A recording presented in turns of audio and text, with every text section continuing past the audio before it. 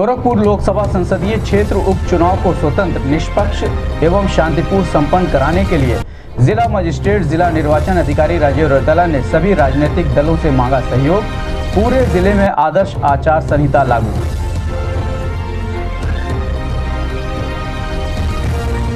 दीवानी न्यायालय में आयोजित हुआ राष्ट्रीय लोक अदालत। उनतालीस हज़ार नौ सौ सत्ताईस वादों में से अट्ठाईस हज़ार आठ सौ अठहत्तर मामलों का हुआ निस्तारण। तेरह जोड़ों की हुई विदाई।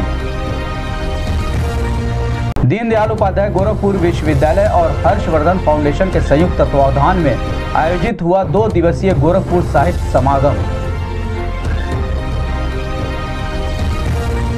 सेटेड्यूस कॉलेज के भौतिकी परिषद द्वारा आयोजित हुआ वार्षिक समारोह छात्र छात्राओं ने की सांस्कृतिक कार्यक्रमों की प्रस्तुति।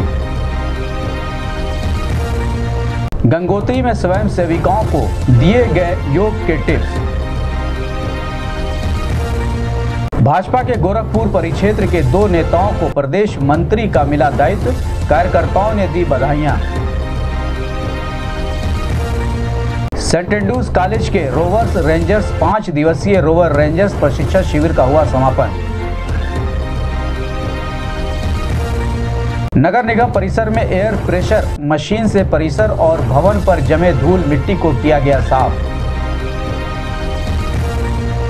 और छठवी अंतरवाहिनी पीएससी मध्य जोन मलखंभ प्रतियोगिता का हुआ शुभारंभ।